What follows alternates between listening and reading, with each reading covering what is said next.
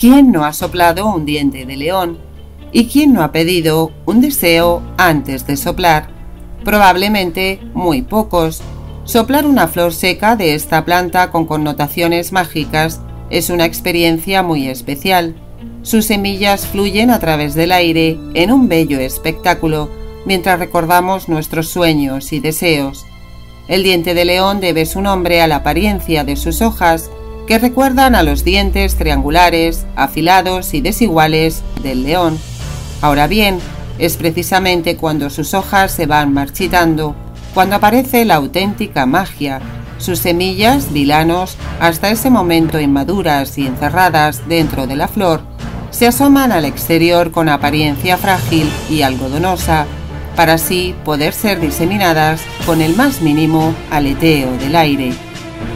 Según la creencia popular, si pensamos un deseo mientras soplamos sobre esa constelación de levísimas semillas blancas, este se cumple. Lo cierto es que no existe una creencia única acerca de por qué se le atribuyen propiedades mágicas a esta planta, pues ha protagonizado cientos de cuentos y leyendas alrededor de todo el mundo. Ya en el siglo XVI, Andrea Mattioli, un médico italiano y autor de varios libros, escribía los magos dicen que si una persona se frota a sí misma con un diente de león, será bienvenido en todas partes y obtendrá lo que desee. Cuenta una leyenda popular que el diente de león es producto de la labor de las hadas. Hace miles de años, cuando el mundo estaba poblado por hadas y duendes, aparecieron los humanos. Estas mágicas criaturas, debido a su pequeño tamaño, pasaban desapercibidas por los humanos que sin darse cuenta las pisaban. Las hadas, cansadas de ser pisoteadas, decidieron adoptar una apariencia más llamativa. Se vistieron de color dorado y tomaron la forma de una flor de diente de león. Una flor que además de no pasar desapercibida, tiene la capacidad de retraerse si se la va a pisar.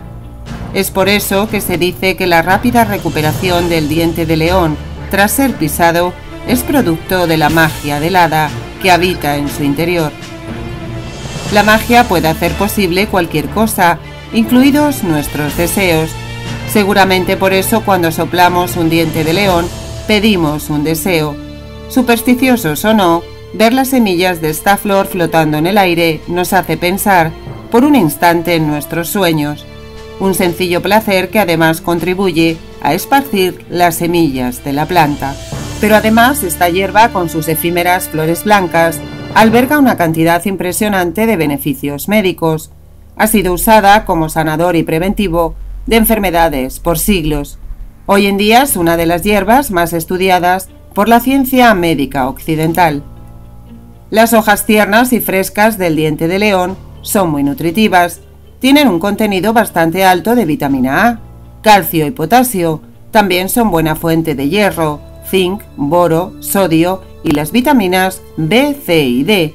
Es un suplemento útil para purificar y fortalecer la sangre, aumenta la producción de glóbulos rojos, elimina el ácido úrico y regula la tensión arterial.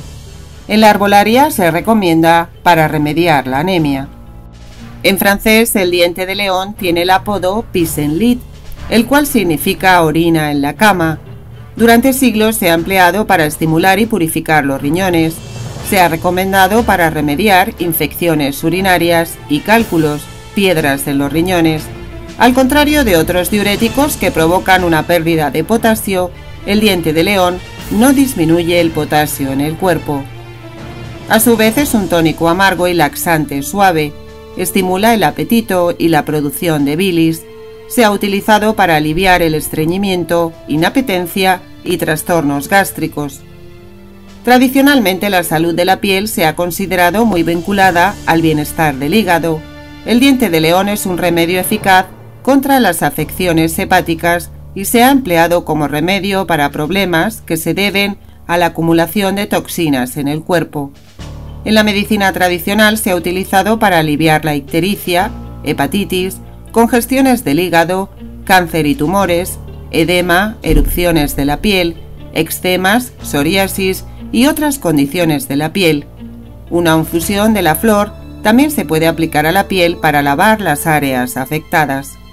El diente de león también se ha recomendado para artritis, reumatismo y otros trastornos crónicos de las articulaciones, problemas femeninos como equilibrar la menstruación, estimular la producción de leche materna y aliviar inflamación, tumores y abscesos en los senos.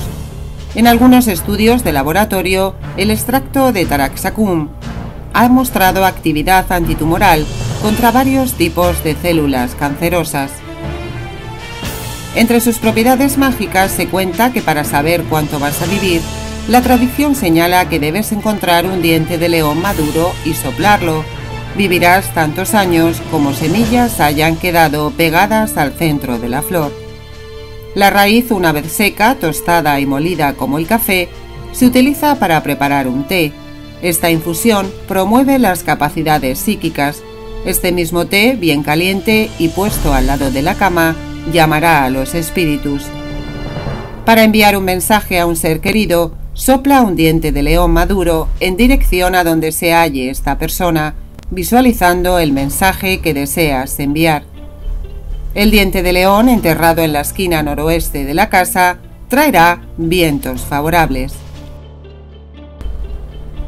Esperamos que os haya sido útil toda la información no dudéis en dejarnos cualquier comentario y suscribiros al canal. Nos vemos en el próximo videoprograma.